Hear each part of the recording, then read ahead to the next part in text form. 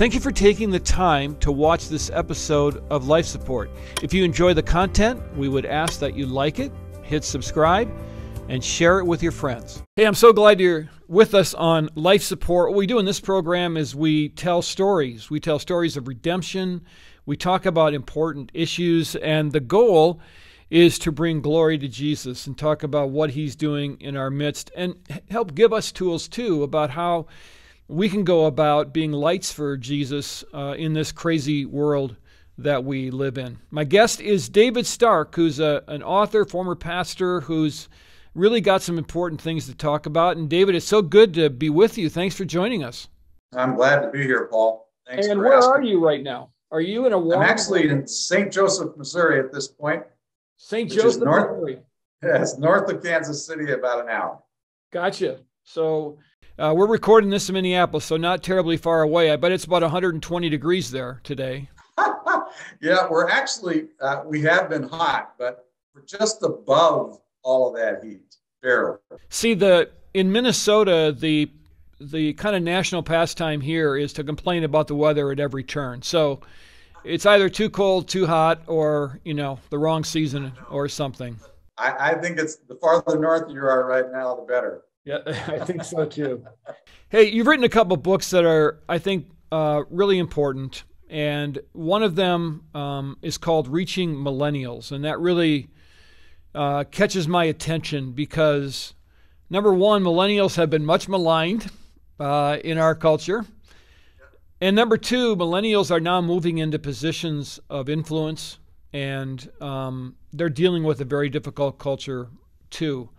Tell me what prompted you to write that book, David. Um, as I consulted with churches nationally for a decade prior to them uh, becoming where they are today, uh, I noticed that for, for the most part, they're not coming.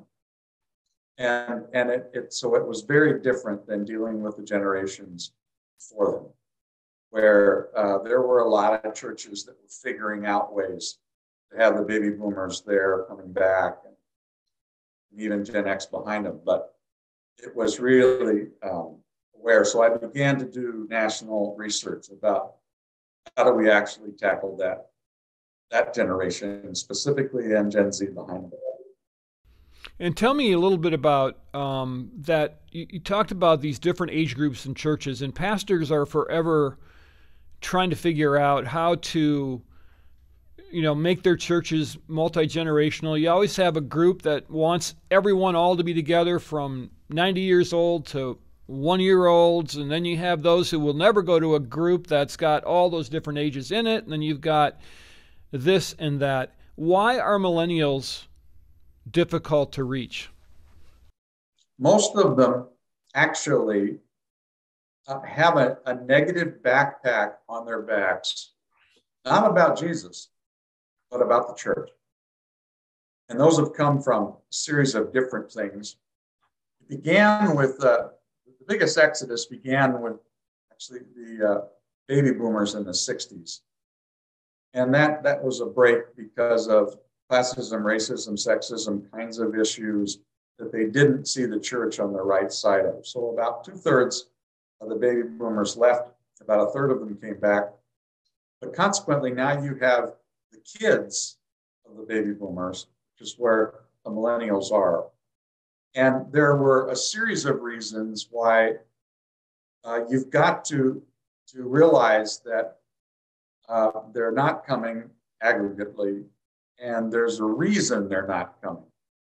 And, and it's, it's that negative backpack that requires a completely different strategy to think about um, uh, having them attend church. And probably the first and most important piece of that is if you're going to wait for them to come, you're going to, you're going to wait forever.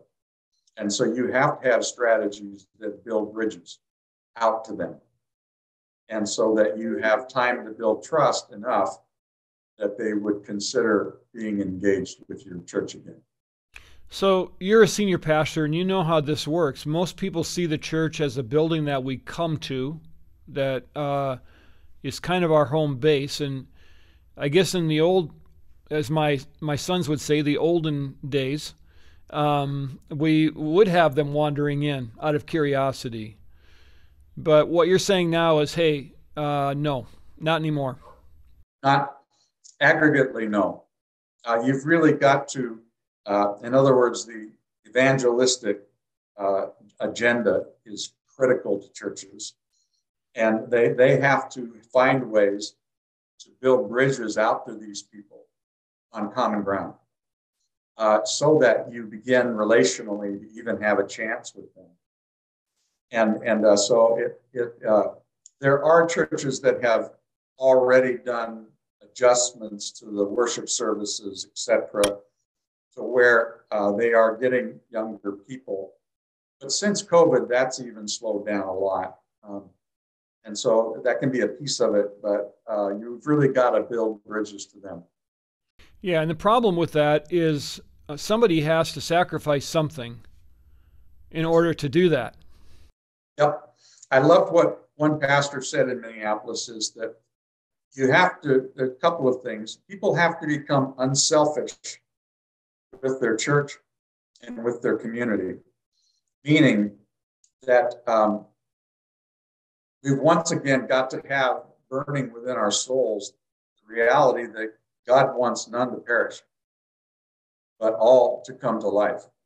And in some form, I've got to believe that it's part of our very DNA that we need to go. You know, Jesus obviously didn't, the Great Commandment doesn't say stay. I mean, the Great Commission, it says go. Mm-hmm. And for a lot of decades in, in America, it was pretty okay to stay, just which flavor, Methodist or Lutheran, Baptist or Presbyterian. Not true now. We're going to have to go again. So, would it be fair to say that that spark has to be lit in the heart of the pastor in order to spread that DNA in his church? Yes, or at least the pastor has to allow it from some major lay people. One or the other. But somebody has to light the spark. Absolutely. And keep it burning. Absolutely. I have a friend of mine who's uh, he's he's he's quite a wonderful church planter, and he you know he's planted several churches and he's built a network of churches. And he looked at me one day and he said, "You know, Paul, when I retire, they're going to stop planting." And I said, "Well, what are you talking about? You've been planting your whole time there." Yeah, but it's in my heart.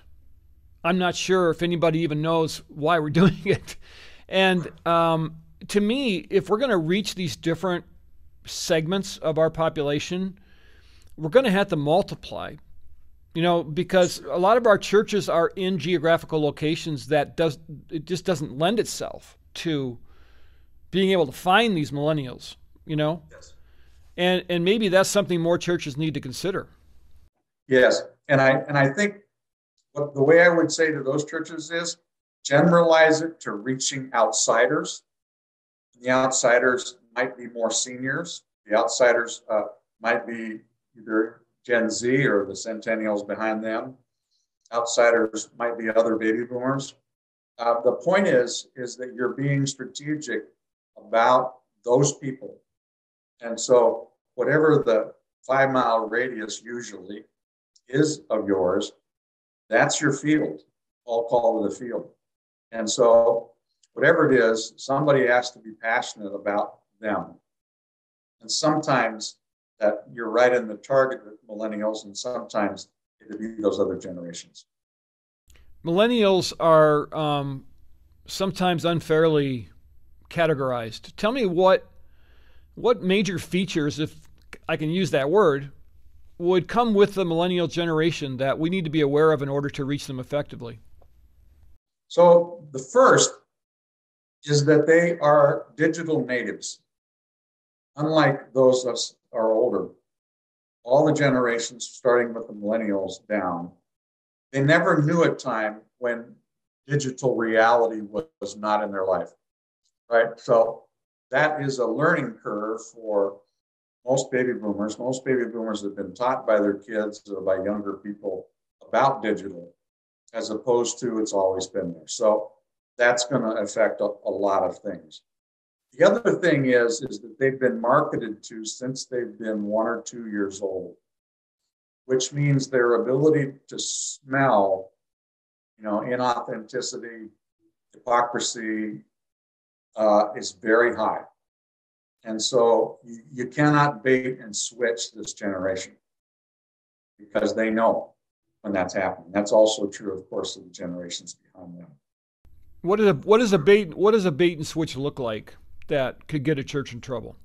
So a bait and switch is that you tell them they're coming to a picnic and somebody stands up and shares the gospel in the middle of the picnic. Um, no, uh, that's a great way to get them to run even farther into the hills, right? Or you tell them that money's going to go to such and so, and they find out that half of it went to the church. In other words, that you've, you've got to be authentic. It doesn't mean you can't be bold, but it means that you're it's got to be authentic. Nothing nothing happens to them that was un that they didn't know about in advance. So, for example, if if if they're dropping their children off um, for a kids camp, say, um, you need to be honest with them about what your kids camp is. Absolutely. And if you are, they're probably going to be okay with that. But be upfront. We're gonna we're gonna talk about Jesus here, and yes, mm-hmm. yep. And there'll be Bible stories and whatever it is. And so uh, they don't uh, they don't feel like uh, we just got Shanghai. The digital generation. Tell me about what churches are doing wrong. Like I, uh, we're all adjusting to this to some extent, and you're right. I mean, you know, my kids were basically born with a with a cell phone in their hand. It, it made it for an awkward birth, but you know, we we got by. Um, what are churches failing to do to reach this digital generation? Do you think? obviously, the most obvious is do I have a website? But beyond that is do I have ways of communicating that might, in other words, the newsletter is almost a completely distant reality. Do I have an e-blast, the ability to get to them by email, or even more, do I have, can I get to them by social media?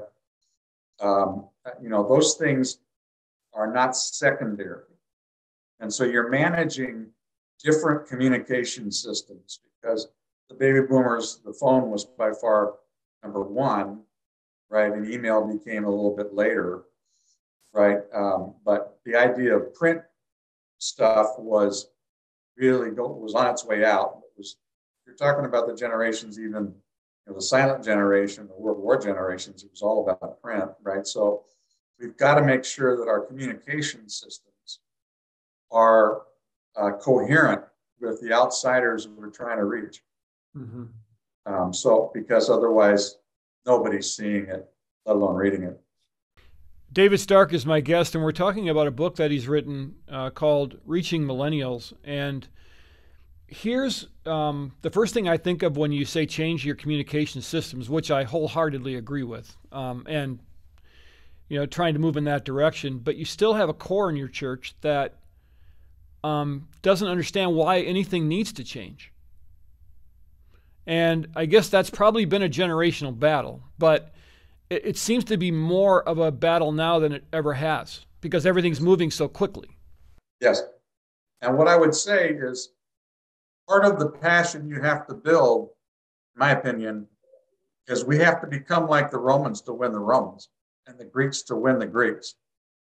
And we've, we've just gone through the largest communications revolution in the history of the world, and we're still in it.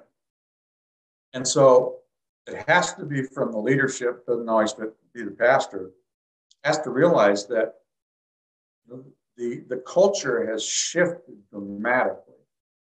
And any pastor who's going to thrive has got to stay up with at least the major things that are happening in the culture around us. Or and, and you know and so that's what that verse really represents to me.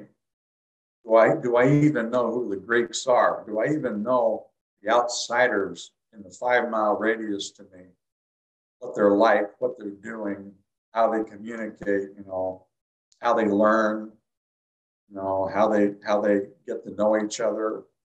That's an ongoing journey for any set of church leaders. Mm-hmm. And it also defines how you staff your church. Um, you know, the the video person is almost your your most important staff member um, because like I don't know if you're like me, but I'm always walking around going like, yeah, we should get a video of that. We got to get we got to get that on video. We need to get you know, and it's frustrating at times because that costs a lot of money and um, you know, but I think pastors have to look around and say like we cannot have the the same old staffing structures that we used to have and be able to reach this generation. And what's interesting is I I spent 30 years in Minneapolis ministering. I'm now in a town, a town of, uh, you know, let's call it 75,000. And they still print posters for everything here. Wow. so, in other words, the other thing I would say is your context will dictate a lot about communicating. Mm-hmm. But you don't have to look very far. You just find out what people are doing and what the major ways of doing stuff that that really would work. Do you think that um, you know you always hear about millennials? Hey, they're lazy, they're selfish, they only care about themselves. Has are are those kinds of um, feelings, unfair statements, probably affect the zeal to to reach them? at all? I do. And I think they're unfair. And here's why. But that was really, especially that was true in the 90s, people were talking about this. Um, it's because the digital world made so many things more efficient if you use them online or you use them, etc.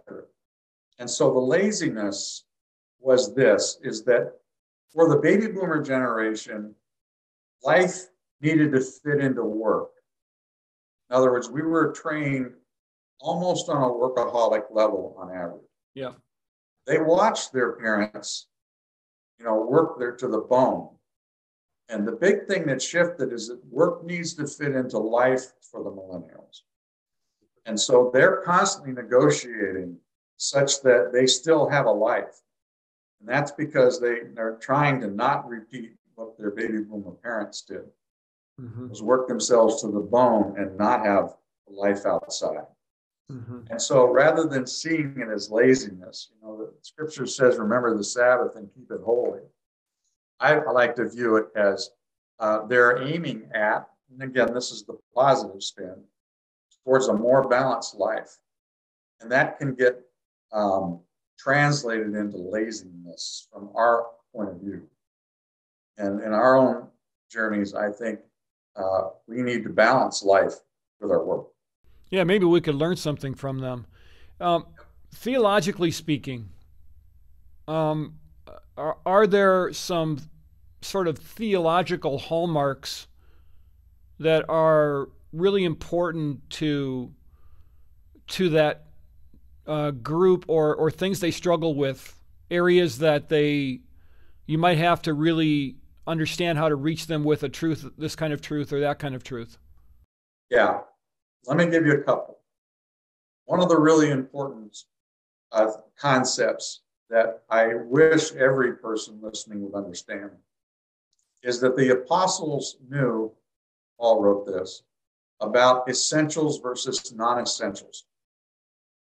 And uh, this is, I think, in Romans 10, I think. I'm not sure I've got it right, right, but One's 13 maybe, but what it, no, 14. What it says is that it's possible in non-essentials, Paul, for you and I to be diametrically opposed and both be in the will of God, mm-hmm. which means we're not to pass judgment on others. And in your, you know, if you're the opposite of that, don't flaunt your freedom. It says, be convinced in your own mind, but keep it between you and God. Mm-hmm. There is so much on social media or that we're tempted to talk about besides the Apostles' Creed or the Nicene Creed. And so they're very sensitive to all statements that Christians make on, on any medium. And they're not really about the essentials, Paul. And so they're ignoring the fact that we're supposed to allow diversity in the non-essentials. And so, and so what happens is they begin to see theologically that, that uh, if you're a Christian, then you must believe this about the non essential or that about the non essential. And so you're not talking about Jesus, of course. You're talking about all these non-essentials. I can't tell you how many millennials and others just aren't coming to churches because they think Christians have to believe A or B, mm-hmm. and it has nothing to do with the core. So that's the first theological idea: is do you understand the difference between the core of the Nicene Creed and the non-essentials? Because uh, you'll drive so many people away if you don't understand that, right? Hmm.